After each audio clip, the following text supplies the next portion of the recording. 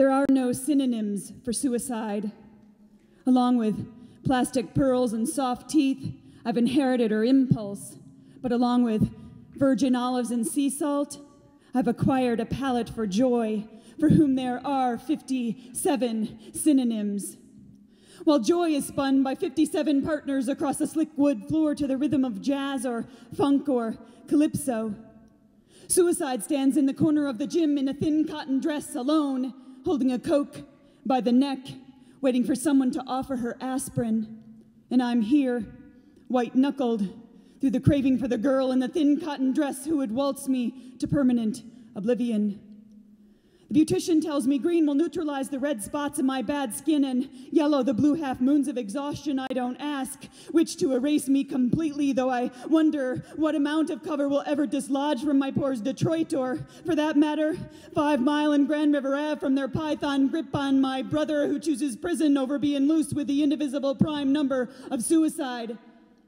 I'm asked why none of the good writers write of madness, and I think because we're too busy running from it, I refuse the dance, but she chases me in dreams and then jerks me awake after throwing me off something really tall.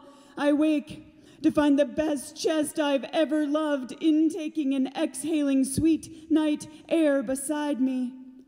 On the bad days, I want to save him from me. On the good ones, I can hear through the din his reminder of the 57 possible options. Out of love, I make a vow to become a spy, a Bond, Holmes, Rorschach, Heinz, Mutt detective of ways out of this lurid maze and then tell everyone else about them. The first is decide, decision, the thing around which we've been told our misery has formed itself through our own bad choices. Locate fault within self to suppress truth, suppress art, suppress change. But I say decide to know otherwise. You see, it ain't no coincidence that I think I'm ugly. It is the manifestation of destiny, mine, a girl in the world born to be receptum, given a false history and whose brothers' lives are criminalized. So take that exhaust pipe out of your mouth and start sucking on this. The homecoming queen is precisely that because she's never been dangerous, and I'll never be pretty or popular enough to wear that coveted crown, I'm assembling the royal court if I to keep yourself alive. The first is to decide, the second to know, and the third is to tell on yourself.